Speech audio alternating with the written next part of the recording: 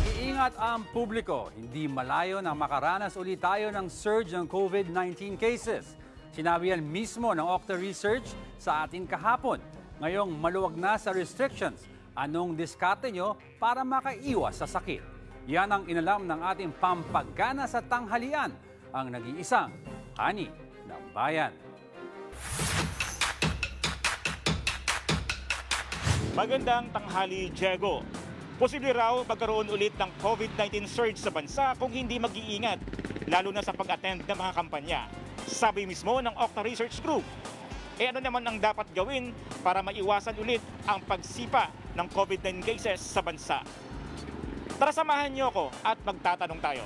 Dito, Siguro yung social distancing pa rin, pa rin kasi sa, sa jeep, saka sa bus, even sa MRT, dikit-dikit na eh, wala nang social distancing. Oo, as in, dikit-dikit na. Siyempre, magsuot ng face mask at saka ah, kailangan huwag magdikit-dikit. Ah, siguro po yung online campaigning, i-utilize yung social medias, mag-campaign either sa YouTube, Facebook, or Instagram. uh, wear yung face mask. And then, kung maaari talaga is observe social distancing. Ah, social distancing po, enforce po sa MRT kasi ngayon ba lang social distancing. Ah, isa pa, ah, vaccination cards sa mall.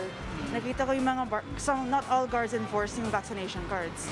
Ah, ayun po.